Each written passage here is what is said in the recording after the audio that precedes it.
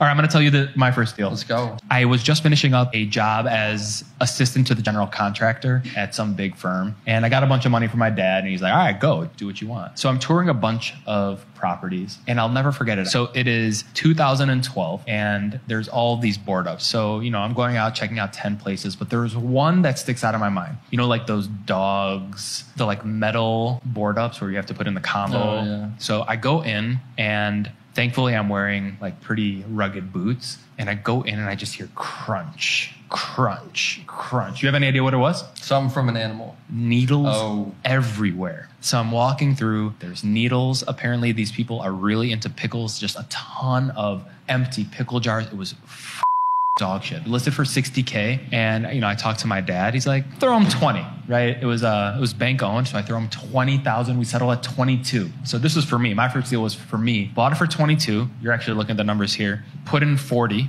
So we're in for 62, sold it for 131,000.